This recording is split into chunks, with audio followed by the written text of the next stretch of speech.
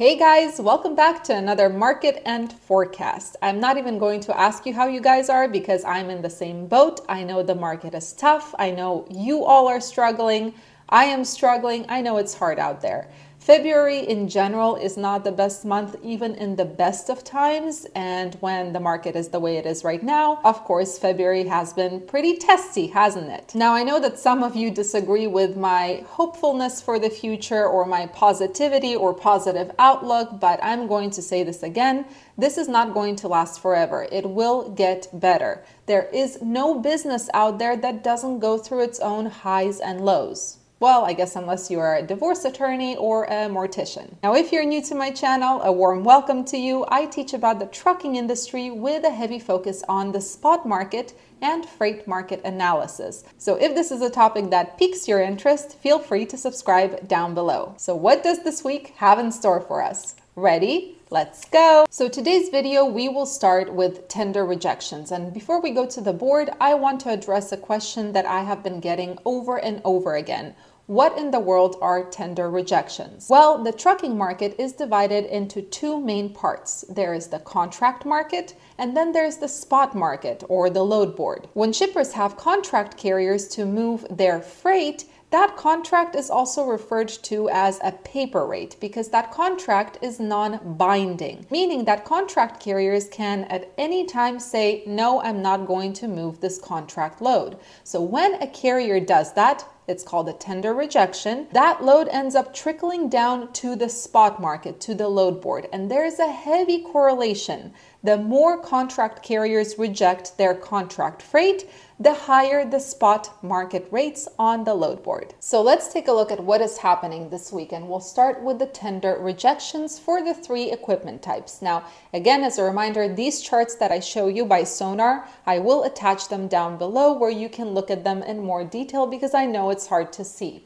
So the first thing I want to show you, reefer is in blue flatbed is in orange and dry van is in green right here. So this is as of the 11th. So what can we see? Well, we can see that there's some good news for flatbeds. The tender rejection rates increased quite a bit in the past few days, which is awesome.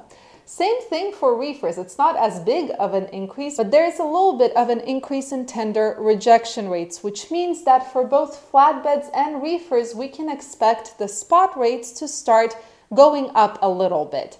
Now for dry vans, it's business as usual. The tender rejection index is kind of going down very slowly, plateauing not much there. Now, if we look at the five year historical data, again, as a reminder, reefers in blue, flatbeds in orange, and dry vans in green, we can see that both reefers and dry vans are at the lowest level in five years, except for maybe April of 2020 when the shutdowns happened, right? So if you look at this closer, you can see that we're pretty low in terms of tender rejection rates. Now, flatbeds are doing more or less okay historically speaking. Of course, the tender rejections did plummet quite a bit in the end of 2022. They did rise a little bit over the past few days, which is awesome. But nevertheless, historically speaking, flatbeds are doing more or less okay in the big picture of things compared to the other two equipment types. Now, this is not to say that flatbed operators are not struggling right now. There is not much to choose from. The lanes are all messed up but nevertheless, compared to the other two equipment types, flatbeds are still in the lead. Now, if we look at the big picture, all equipment types, just general volume in the United States versus rejection rates, the volume is in blue, the rejection rates are in green, what we can see is that volumes currently, they are slipping a little bit, no denying it, but the tender rejection rates in general are going up, which is a welcome sign. Now, I get a ton of questions about why I don't include as much flatbed data or any at all in these weekly market update videos, and I promise it's not on purpose. The issue is that Sonar doesn't really offer granular data on flatbeds, so I am forced to draw conclusions from the data that is available. And the most granular data I found for flatbeds is lane rates. Now, I have the map right right here because we're going to be going through these lane rates for flatbeds to try to determine where is the best area for flatbeds. So we're going to go by market region. So what I did was I looked at all of the regions. So number one, we have the West Coast or the West, which includes states like California, Oregon, Washington, Utah, Idaho, Colorado, Wyoming, Montana, Nevada. Okay, so this is the West. And what I did was I took all of the lane information available for flatbeds and I just calculated the rate per mile, including the average rate per mile. So one of the things I want to remind you guys of is the colors here. So the green means there was an increase in rates from last week for a particular lane. The red means there was a decrease and the gray means there was no change. And these are lanes coming out of the west, right?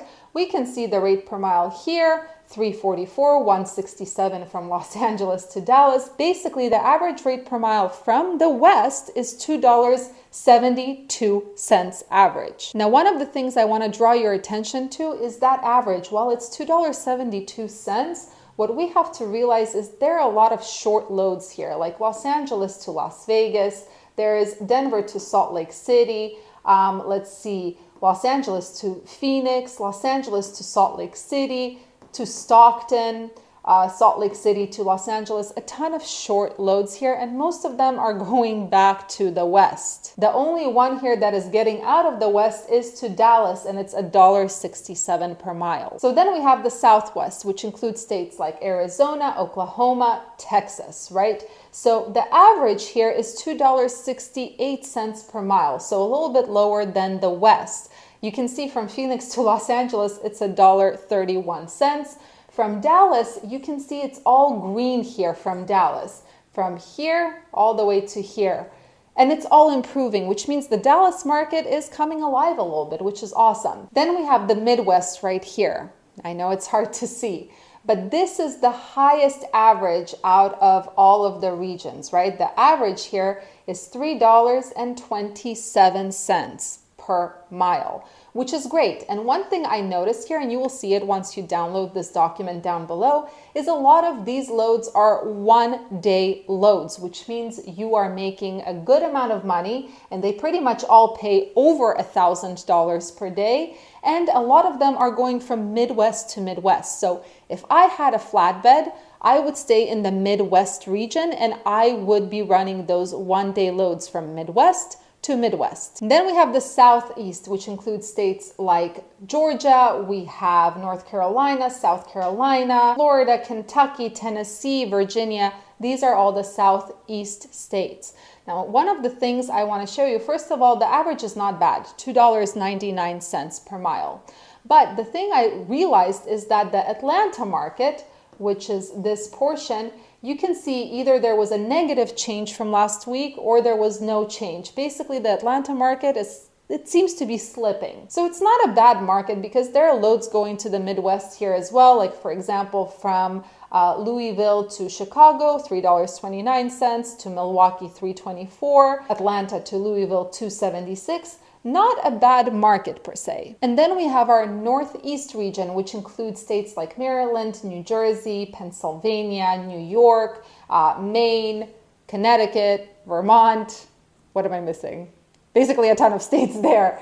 Um, not a bad market because the average is $3.04 here. The only issue I see is that a lot of these lanes are going, the higher paying lanes are going from the Northeast to the Northeast. Although there are some going to the Midwest, like Baltimore to Indianapolis, which is $2.40, to Louisville, $2.60. We have to Ohio, $2.69.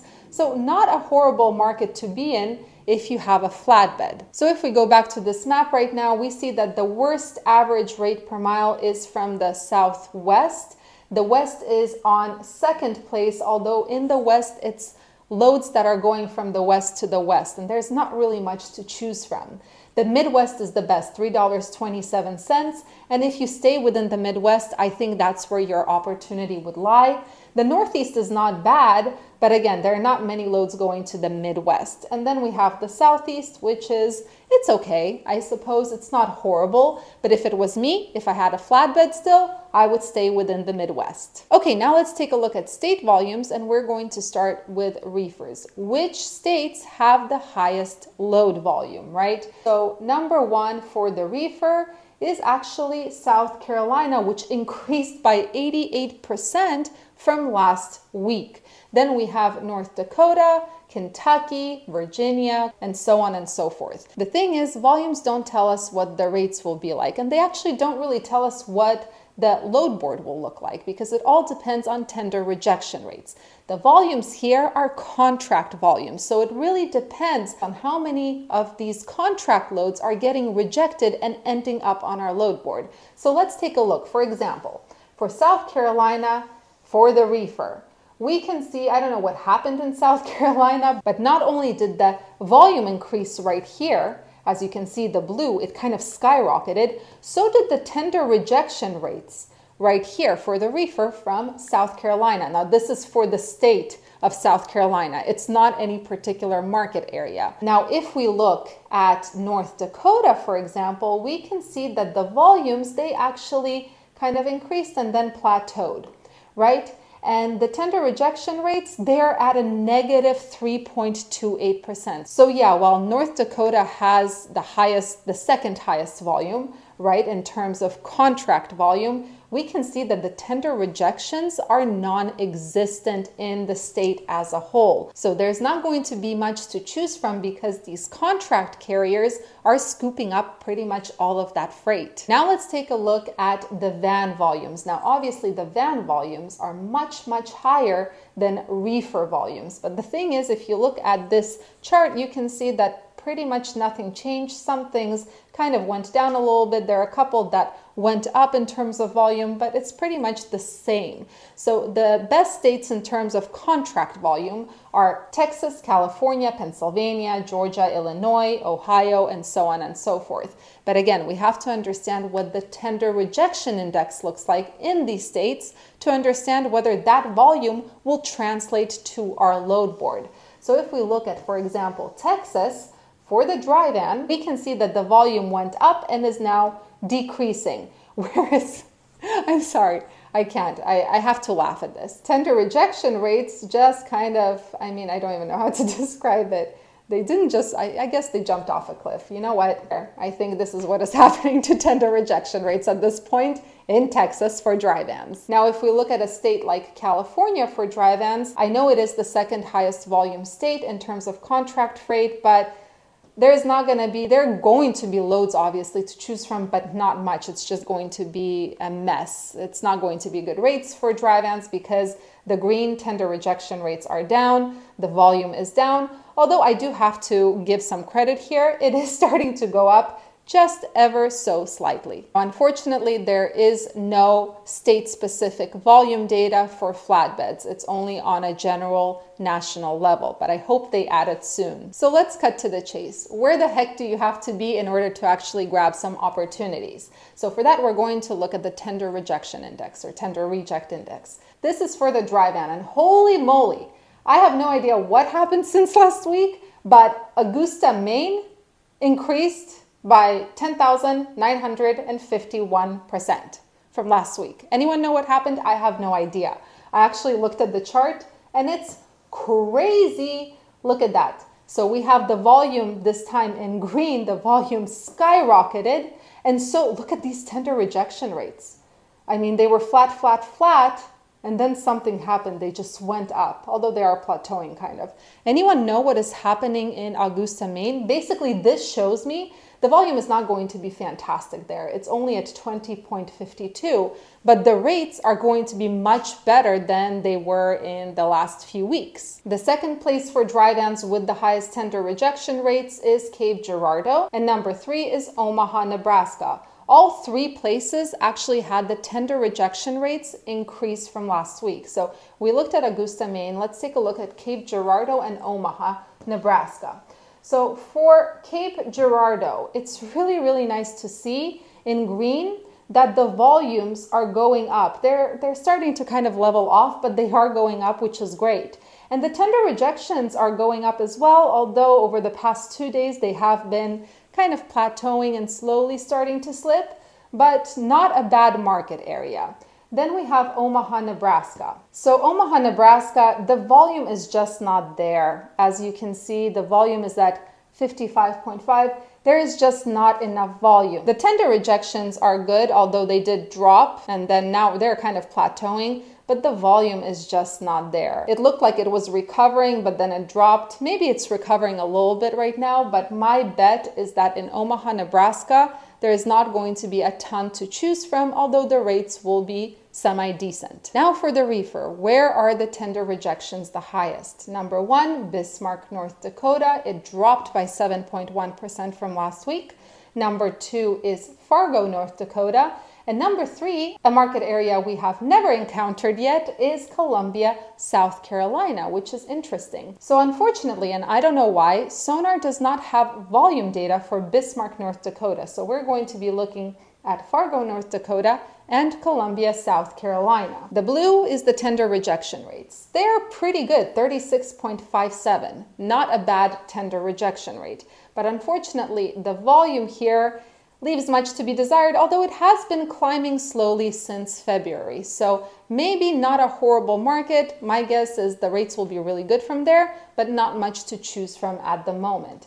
Now, South Carolina, not sure what happened in South Carolina. The volume is, there's pretty limited volume. Now, I know I said that South Carolina also had the highest volume, but that's statewide. This is for this particular market.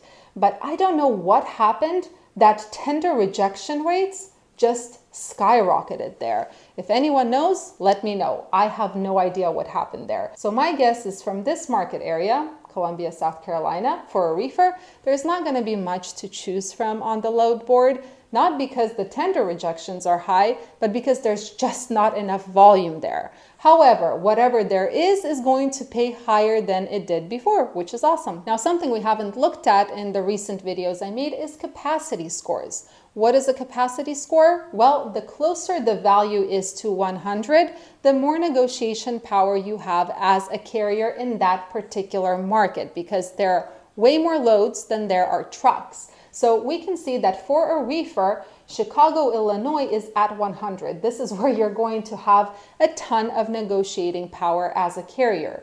Then we have Twin Falls, Idaho. Idaho has been a really, really good place for reefers, it seems. I don't know because none of my guys have been in Idaho in the recent past. Then we have Pennsylvania. Pennsylvania, great market if you book your loads early on. Those loads go away really, really quickly. Wisconsin, California, Texas, etc., etc. Now, the worst places for a carrier in terms of negotiating power, and this surprised me, is number one at a value of three, St. Louis, Missouri.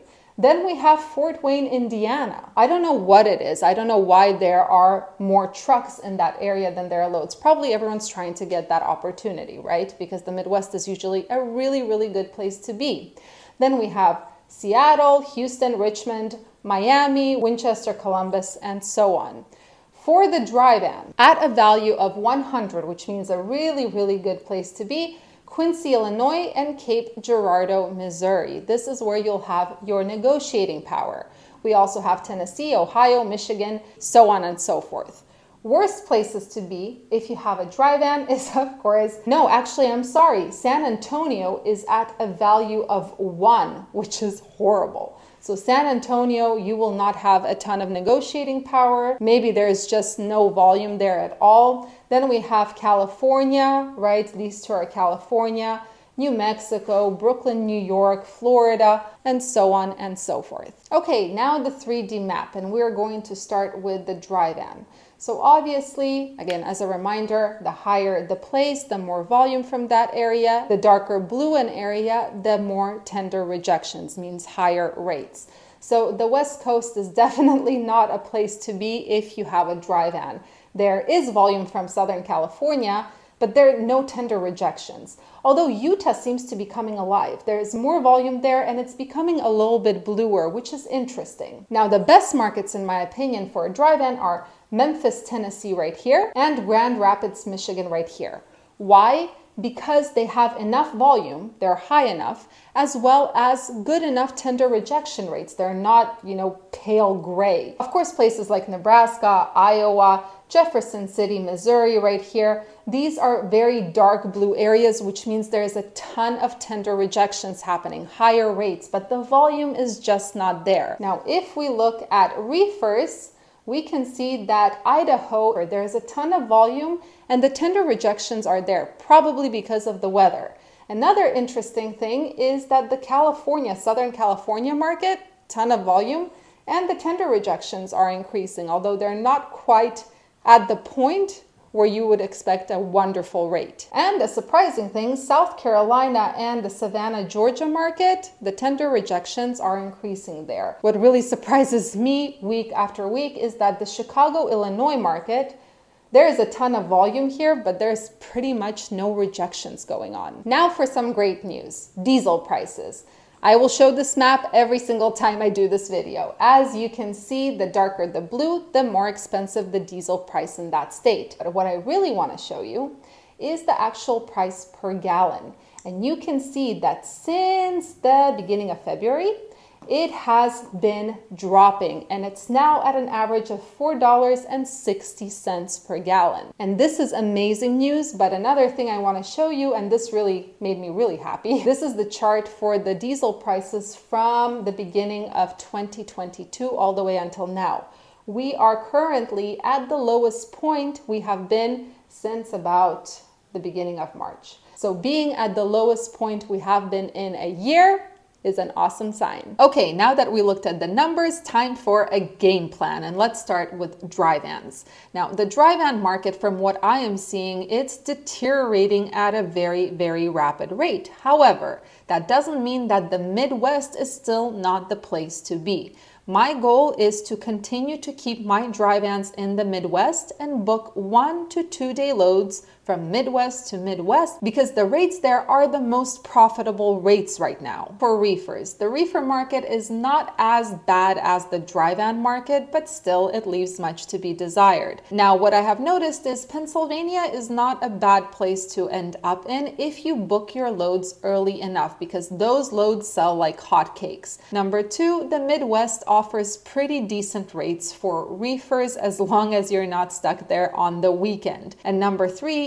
even though I haven't had any recent personal experience with that, it seems like Idaho is a pretty good market. At this time, I have been keeping my reefers away from Oregon, Washington, Idaho, Utah because of the weather. But again, Idaho seems to be a pretty decent place for reefers. Now, even though I don't have a flatbed anymore, it seems like the Midwest is a great place for flatbeds as well. There is the opportunity to make money there as long as you're prepared to put in the work because those one day loads, especially for a flatbed operator, are pretty tough because you have to strap, you have to tarp. Sometimes I guess you have to tarp in the Midwest, I'm not sure. But yes, it's more work, but there's more opportunity to turn a profit. Anyway, guys, I hope you enjoyed this video. I hope you learned something that you can apply to your operations, and I'll see you in the next one.